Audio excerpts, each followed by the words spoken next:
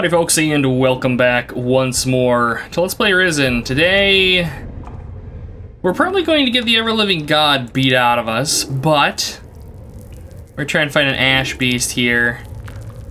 See, I know I've got strong and medium. Let's cast a medium magic healing spell. Ooh. Do I actually have, I do have runes for that too. That, that I think might be worth learning. The small magic healing is nice, but medium is, it seems, hmm, for a healing plant, I think probably a better deal. Okay, this is, I'm trying to think of like, maybe if I could draw it back there, because like I need somewhere where I can have some room to fight this guy. Because, yeah, that. Oh, and I put my sword away. Oh. Oh, we almost had him. We almost had him. I tried to be all violent and aggressive, and we got pummeled. Alas. Alright, I'm gonna drink another healing potion. We're just gonna top ourselves off here. We could we could throw some buffing magic. What do we have? We have a berserker. 50 points in close combat. Hmm. Alright, sure. We got some berserker rage. That's right, fall off the ledge, you sucker. Oh, come on. There we go. Alright, Berserker Rage did it for us, and now the duration is being wasted, but I think there were some ghouls back here, weren't there? Yeah, at least one. Oh my god, you guys and your damn back dodges. Maddening. We'll be coming back to explore this, I just wanna see if we have anything worth anything down here. A Wanderlust Or our potion, or our, our rage is going to run out here, alas. That's okay. Go ahead and drink a better healing potion. We'll quick save again. Make our way up. I heal, I, I was gonna say, I hear more ghouls. Hey guys, I'm just gonna not. Oh, that is a lot of ghouls.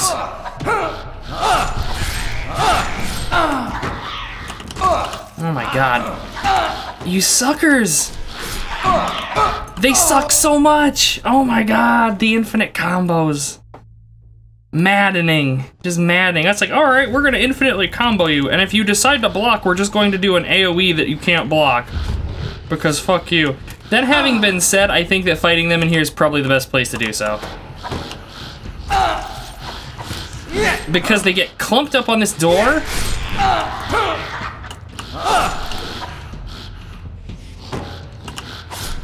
And when they do that, we can just murder them. Oof. Very close. Very close, but we managed. see, we'll go ahead and drink another one of the potions of regeneration. Pop a medium magic heal. Pop a medium magic heal. And we are back to what I would consider a comfortable level of hit points, and we have a magic barrier that we can't get through. Because this damn game uh, it's like, it's throwing all of these places at me. Like, I know at some point in the future, I'm gonna have to remember that this is here, and I'm not going to. Because, like, this place is fairly out of the, well, not really, I guess. I don't know. I'm sure I'll have people pointing me back here in the future. It Doesn't really even look like there's anything in there. Nope, can't do it. Well, now I'm curious. They gave us the three, three scrolls for the red ones. And we have used two of them. And I believe behind uh, both of them was a crystal disc. And we are at, I think, three? I want to say we have three of them. Are they in here? Old coin. Yes, we are at three. So we need two more I mean, on the upside, we know that, you know, Ash Beasts aren't, like, totally going to beat our asses anymore. Okay, so what I want, where is it? I know I've got that Ring of the Acrobat. We're gonna... Ah, there we go. See, no falling damage. Convenience. Okay, now we want to put our Ring of the Duelist back on.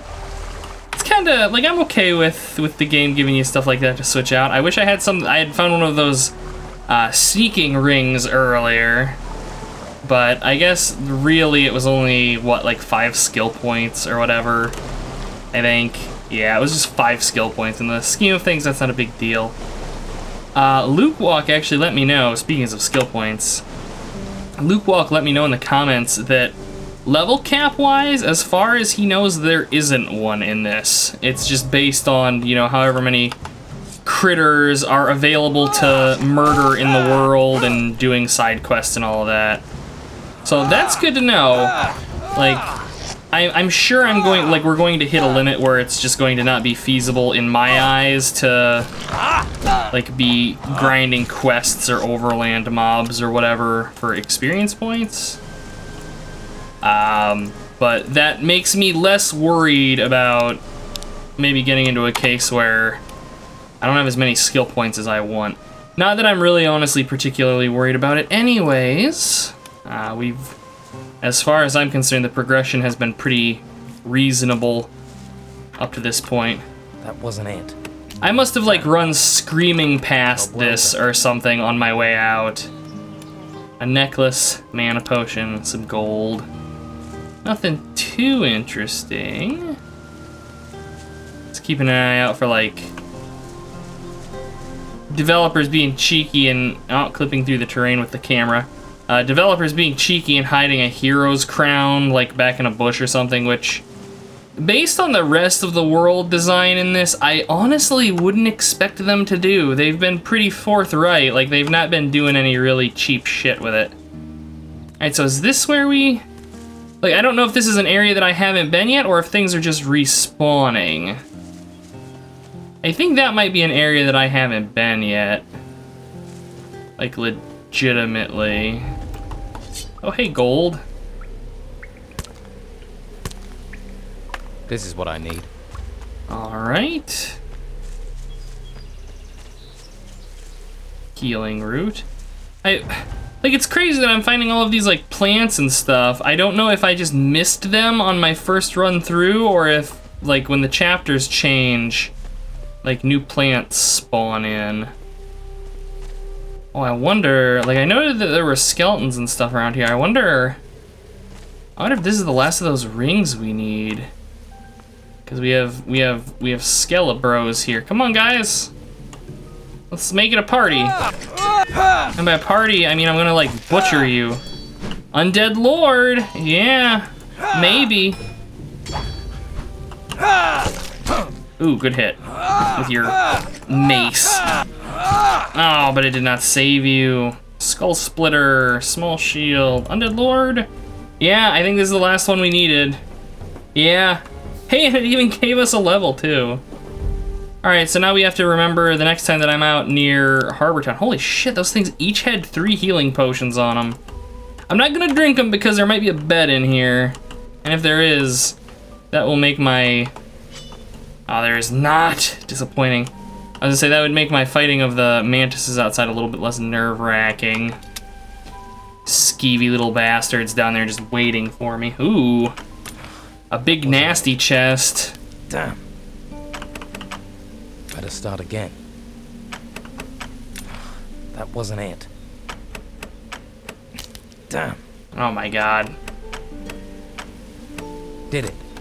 Nasty lock. What do we got? Magical protection. Alright. An amulet of wood skin. Plus $5 defenses. Nice. Bunch of money. Some arrows. What does our current amulet do for us? 15 strength. Oof. Alright, well, I mean, if we ever hit a point where I need to trade defense for offense, we can. Oh, am I? Okay, I was gonna say, am I out of lockpicks? We only have four left. That worries me deeply. And what is this? Hmm, do I gotta, like, click around? No. I mean, this doesn't look like a gate. This looks like somebody built this to like keep something in or keep other things out. I don't know. All I know is I'm gonna murder these things for experience points and profit, and then probably grab another. Eh, I don't know. Hey, come on. Eh, ah, you're gonna eat my butt. Get away from me. I want to fight them in an area where I can like funnel them at me one at a time, because otherwise they're just going to absolutely butcher me. God, that that charge attack is so good. Now that I've figured out that I basically, just to use it effectively, I just need to create some distance between myself and the enemy. Yeah, that's kind of a game changer. Okay, nothing over here. Because, like, alright, you know, we spend this level, and we bump up our sword fighting another level. Alright, so that nets us two handers in one hand if we have the ring of sword fighting on. And then it's one more level. I don't remember. I think I said that I was going to um, go with sword fighting for the next two levels. That's probably what we'll do. Dang it. And then jump over to strength. We'll be we'll be using we'll be uh, I shouldn't say we'll be using. We'll be drinking those potions of strength sooner or later.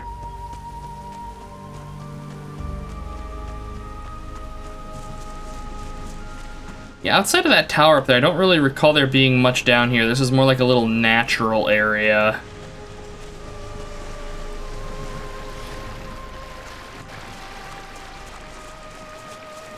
And the Don being quiet, not wanting to tell us anything, kind of a pain in the ass. Yeah, I can't imagine. There's gonna be one of those things down here. Like, there's no lizard men or anything, right? No temples. Okay, uh, in that case, uh, I suppose the first thing we'll do is we'll teleport back to the Don's camp. We'll get our sword training in. Let's see, where am I? I can never remember that it teleports me out like this archway here. I always think it's like closer up there and it it wigs me out every time we get back here. So Craig can't teach us anymore if I recall correctly.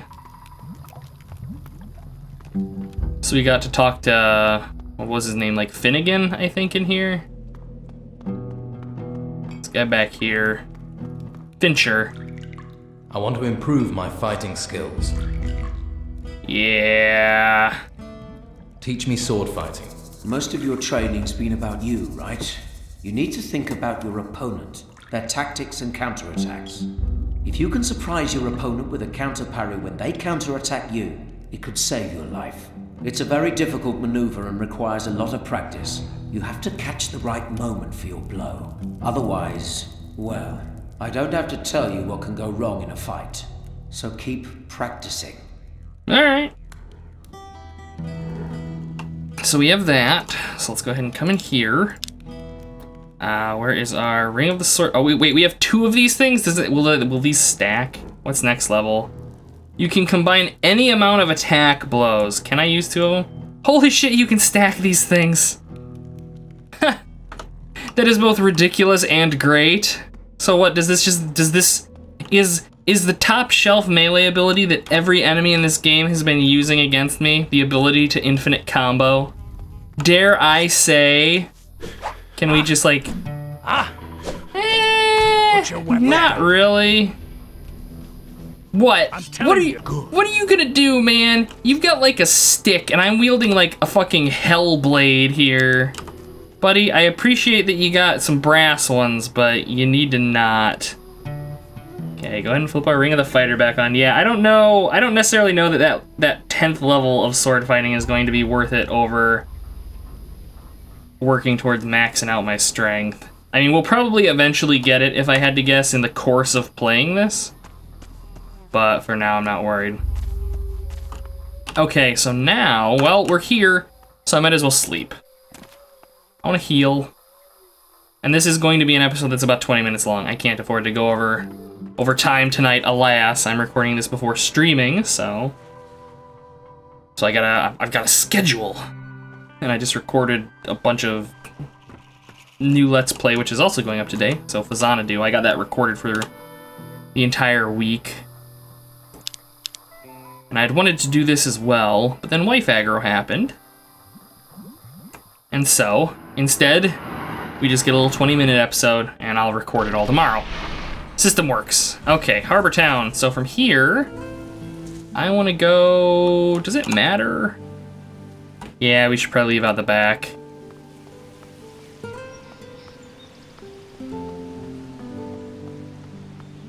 So I'm curious to see whether or not this this this two-hander. I'm gonna assume that it has more reach than the bastard sword. It looks like a longer weapon than Stormbringer was. I mean, we can like look here. How is it?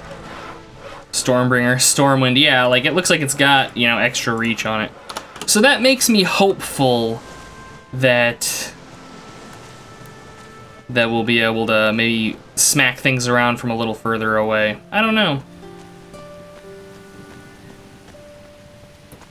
Completely unrelated. I don't know where I stand on letting two-handed weapons be wielded one hand.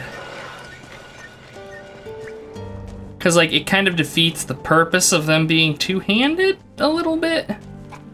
Like, normally, you know, with a two-hander, you're sacrificing defense for pure offense. Let me out. Let me through. I am here on the Inquisitor's business. Ah, yes. Whereas when, when, like, a game lets you one-hand them, well, then everybody's a sword and board build type thing. That or you dual wield them. I mean, as the case may be. And in something like...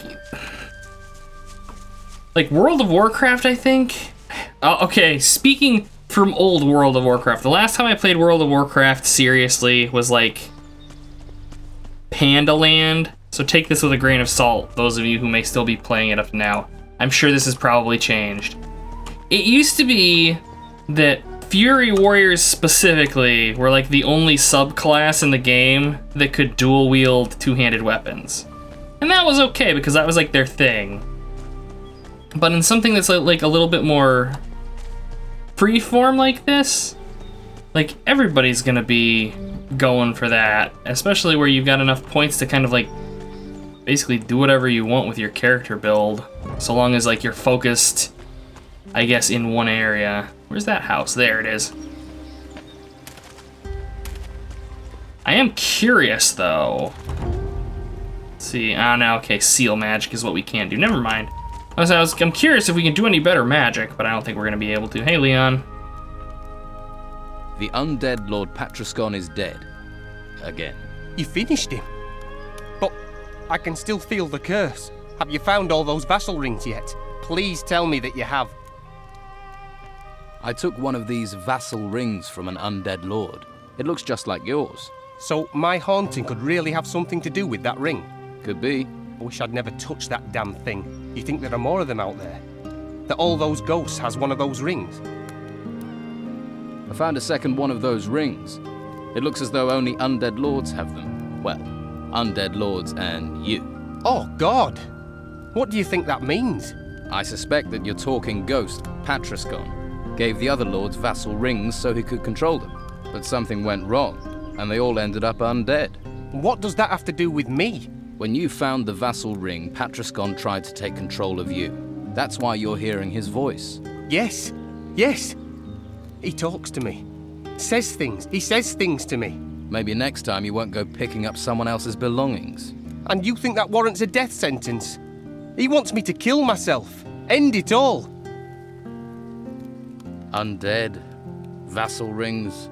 What's in it for me if I solve your problem?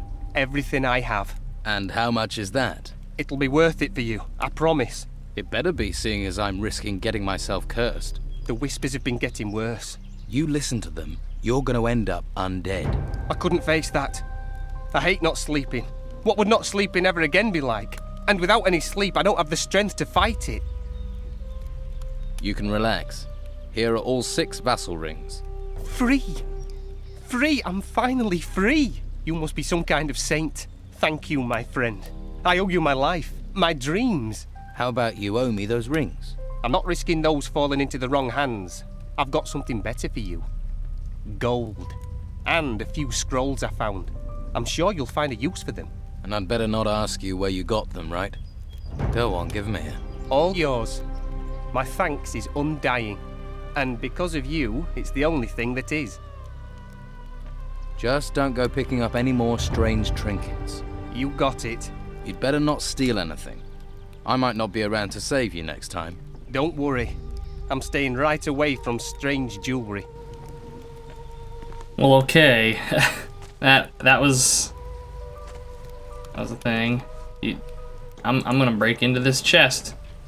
What do we got? A little bit of healing. Nothing really too interesting. We just kill this dude. Just go full evil mode. Kill him, take the rings back, sow them amongst the townsfolk. Toss them by the handful at the Inquisitor. Uh, but we are at 20 minutes, so I do think I'm gonna go ahead and call it here. Uh, so I will catch you guys next time, wherein adventure continues. Further wanderings. Until then.